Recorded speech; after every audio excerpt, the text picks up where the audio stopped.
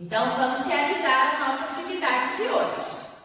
Vocês irão abrir na página 39, o 3 e o 9. Isso mesmo. Olha lá, nível 1, o que será que nós vamos fazer nessa atividade? Vocês estão observando que nós temos um mapa mundi. Isso mesmo. E nós vamos agora ouvir a leitura denunciada com a professora Stephanie e depois eu vou explicar a atividade. Você sabia que existem alguns animais que só vivem em determinadas regiões do planeta? Colhe os adesivos desses animais próximos ao mapa. Hum, só que nós não vamos ainda pegar o adesivo. Nós iremos explicar a vocês qual é a região que os animais vivem lá no mapa mundi. Combinado? Primeiro, nós vamos conhecer a região que a girafa vive no nosso planeta. A África. Isso mesmo, professor Stephanie. Agora, aonde está a setinha é a região no mapa mundi onde a girafa vive. Agora, nós vamos conhecer a região do urso. Qual será a região, professor Stephanie? No Polo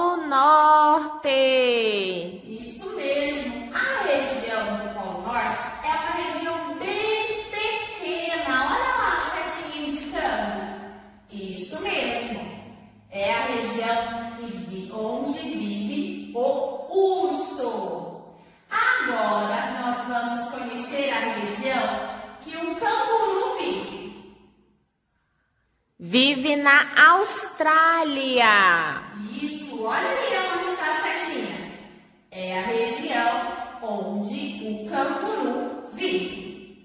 Agora nós vamos conhecer a região que a onça.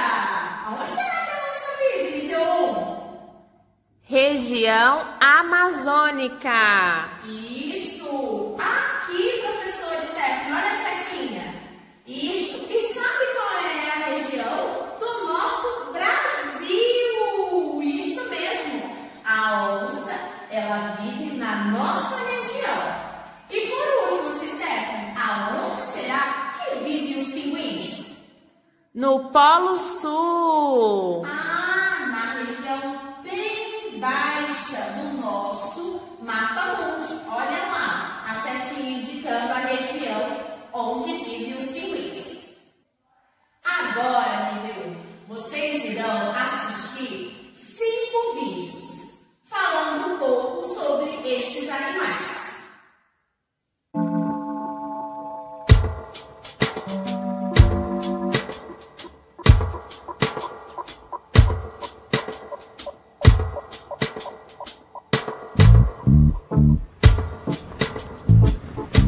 Girafas são os animais mais altos do planeta.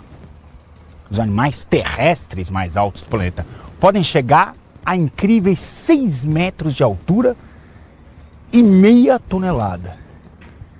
Não são os maiores animais terrestres que existem, porque só um rinoceronte pesa 2 toneladas, um rinoceronte branco, e um elefante africano pode chegar a incríveis 6 toneladas. Ei. Ah. Existem nove subespécies distribuídas pela África, todas abaixo do Saara. Um dia esse bicho já existiu. A única espécie de girafa, são nove subespécies, mas é uma única espécie de girafa, já existiu no norte da África, mas lá foi extinta. Incrível animal. Mais um daqueles achados africanos, animais que só existem aqui em nenhuma outra parte do planeta.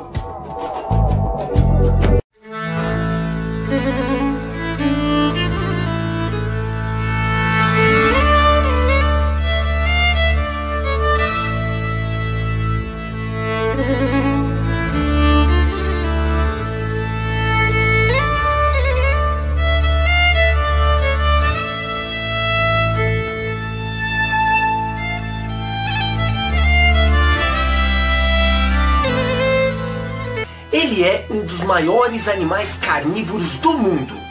Os machos adultos pesam entre 350 a 700 quilos e medem de 2 metros e meio a 3 metros de comprimento.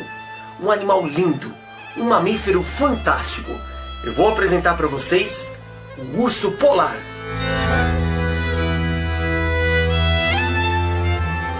As fêmeas adultas têm aproximadamente metade do tamanho dos machos e normalmente pesam de 150 a 250 quilos, medindo de 1,80m a 2,5 metros e meio de comprimento.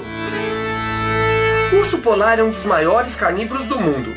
Ele disputa em tamanho com o urso Kodiak, que é uma espécie de urso pardo que vive na ilha Kodiak, no Alasca.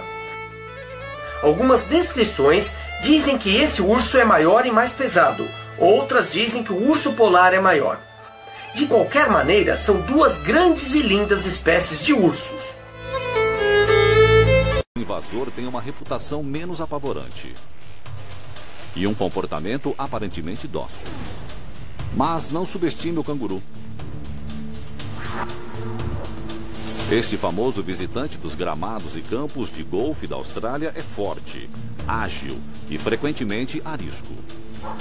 Quando assustados ou na defensiva, os cangurus já atacaram animais de estimação e até pessoas.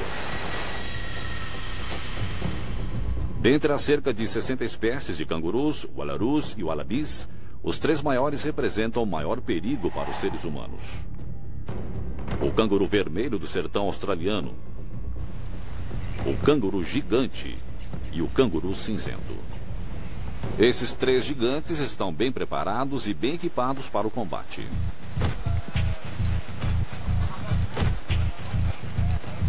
Eles têm cerca de 2 metros de altura e pesam 72 quilos. Aproximadamente o tamanho de um homem adulto.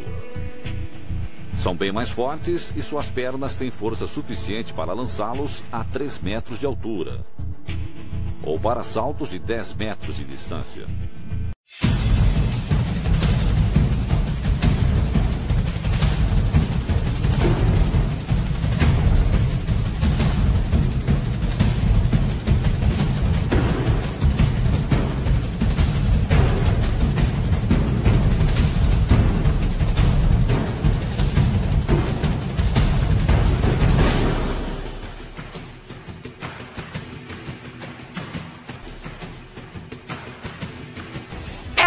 Dos maiores felinos do mundo, sinônimo de força, agilidade, potência e muita beleza. Vamos conhecer Sua Majestade, a onça pintada. É o maior felino das Américas, está entre os grandes do mundo. Junto com os tigres, leões, leopardos e leopardo das neves. Todos esses grandes felinos são os que conseguem rugir. Outros, como os pumas, os guepardos, por exemplo, conseguem apenas emitir um miado. As onças pintadas emitem uma série de roncos muito fortes, que são chamados de esturros, que podem ser ouvidos por quilômetros.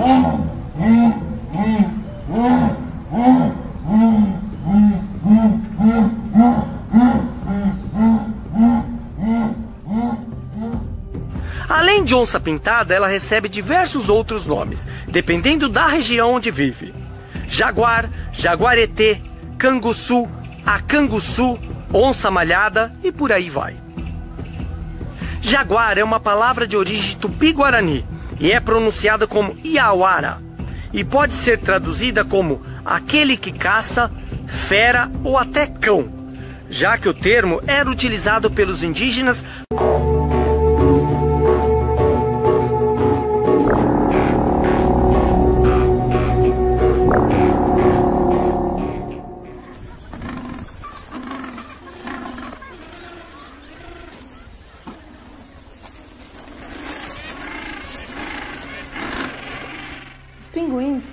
sem dúvida, os animais que melhor representam a fauna antártica. Graciosos e desajeitados quando andam pelas praias e encostas, surpreendem pela agilidade no mar. São excelentes nadadores. Suas asas ou aletas são adaptadas para nadar e suas penas são impermeabilizadas por um tipo de óleo que secretam. As espécies mais conhecidas são pinguim adélia, de pequeno porte, tem a cabeça toda preta. O pinguim papua ou gento tem uma mancha branca acima dos olhos do bico avermelhado. O pinguim antártica, ou chinstrap, tem a cabeça branca com uma linha preta abaixo do bico. O pinguim imperador é a maior espécie, chegando a uma altura de 1,20m. É a única que se reproduz no inverno antártico. O pinguim rei são pinguins grandes, mas menores que os imperadores.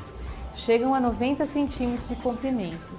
E ainda temos o pinguim macarrone, o pinguim de testa amarela. É comum encontrarmos na praia pinguins de espécies diferentes dividindo o mesmo espaço, convivendo em harmonia. Como são aves sociais, formam grandes colônias, em casais e filhotes nascidos na temporada de reprodução. Quando os pais vão para o mar se alimentar, algumas espécies formam creches, então os filhotes ficam mais protegidos dos predadores. E aí, nível 1, vocês gostaram dos vídeos? Que legal, não é? Conhecer um pouquinho de cada animal que nós acabamos de conhecer. Agora, vocês vão pegar isso, adesivo da página 210. Vocês vão pegar os seis animais que nós temos na apostila, na página 210. Agora vocês vão pegar os adesivos e vocês vão encontrar a região onde vive cada animal. Lembrando que a professora Rogério conforme for explicando a região que eles vivem, ele colocou para vocês com uma setinha. Se caso você tiver alguma dúvida, peça para a mamãe voltar o vídeo e aí vocês vão conseguir visualizar melhor. Combinado, nível 1? Ah, esperem aí que vocês vão ter uma tarefinha para casa. Agora, nós iremos realizar outra atividade do livro. Acompanhe nessa página aqui, ó, 169. O 1, o 6 e o 9. O que será que nós iremos realizar nessa atividade? Você aprendeu que existem animais que só vivem em determinadas regiões do planeta, não é mesmo? Agora, escolha um país e faça uma pesquisa sobre um animal que seja o símbolo desse local, ou seja, típico dele. Desenhe esse animal e escreva o nome do país.